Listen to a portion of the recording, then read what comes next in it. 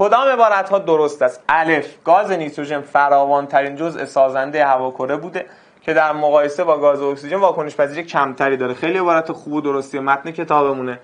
ب. در فرایند هابر در پایان واکنش تنها گاز آمونیاک در محفظه وجود داره. این غلط.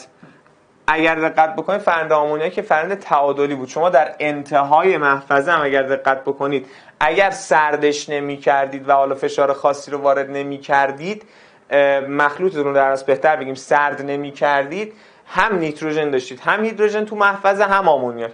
پس عبارت ب عبارت غلطیه. پس من یه نگاه به گزینه‌ها می‌کنم مورد یک با سه رد میشه. درسته؟ حالا دقت بکنید بچه ها مونده چی؟ مونده الف پ ت و پ و ت. من الف رو تحلیل کردم دم درسته. پ و ت هم که مشترکه بین این دوتا. الف هم که چک شده درسته. پس قطعا گزینه دو جوابه.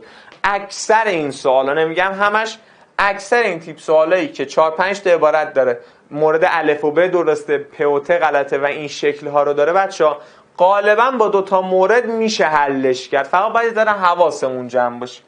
56 صدم لیتر گاز نیتروژن در شرایط SDP شامل 25 هزارم مول از آن است. خب اگر دقت بکنید بچه ها 56 صدم لیتر یعنی این مقدار تقسیم بر 22 14 هم که مقدارش همین مقدار میشه این عبارت درسته. فریتز هابر به دلیل تهیه آمونیاک از گازهای اندو و هاشتو برنده جایزه نوبل شیمی شد. این هم کاملا درسته و پاسخ گزینه دو خواهد بود.